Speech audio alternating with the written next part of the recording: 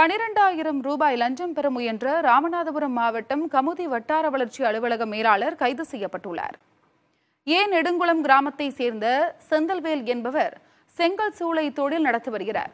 இவர் தனது தந்தை அங்குச்சாமி பெயரில் மூன்றாம் நிலை ஒப்பந்ததாரராக பதிவு செய்ய வேண்டி அரசுக்கு செலுத்த வேண்டிய தொகையை கடந்த பதினொன்றாம் தேதி கமுதி வட்டார வளர்ச்சி அலுவலகத்தில் கட்டியுள்ளார்.